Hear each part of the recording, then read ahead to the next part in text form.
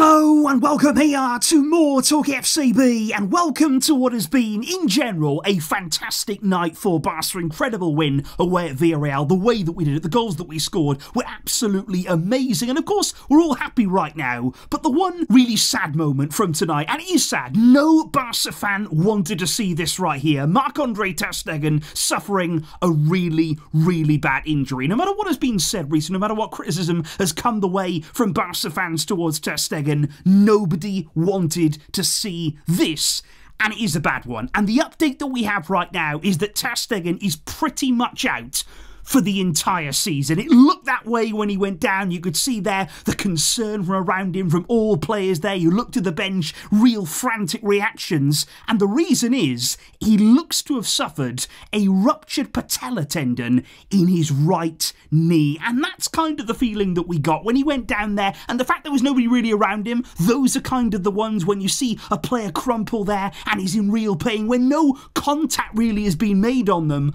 those are the ones that scare you. And today, Ter in such pain, he was stretchered off. He went straight to the hospital then to be checked over, of course, to go through the process there after receiving that injury. He was then seen actually leaving the hospital in a wheelchair later on tonight and it does look like a bad one. Eight months out right now is what we are hearing. Now, of course, there's going to be talk about who can replace him, you know, in the long term, in the near term. Iñaki Peña came in today and did well. Barca could sign a free agent from out there in the market. It may also be possible to sign somebody from La Liga on that emergency rule that is in place. But of course, there's plenty of time for talk like that. Right now, I think Hansi Flick had it right this evening. He was in no mood to talk about that next step. He said, right now I'm feeling very sad. I think the whole team was kind of shocked by what happened to Ter Stegen. Anytime there's an injury like that, it affects the players. It's a big blow. We've had lots of injuries in this team, plenty of long-term ones as well. And to see another one today, it is never, ever a good thing. So right now, Barca are recovering from that big shock.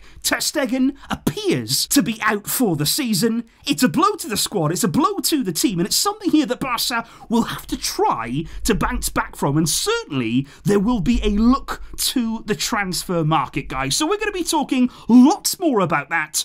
But right now, all there is left to say is all the best to Ter Stegen tonight, all the very best as well, of course, in his recovery, and we are all with him on that. Please do let me know, guys, all of your thoughts down below. I know everybody at Barca right now is thinking of Ter Stegen, and we will be back very soon to discuss the next steps here at the club. Thank you indeed, guys, for all of your support, and still tonight, I hope that you can enjoy this victory. I will see you soon, but until next time, as always, Visca, El Barca.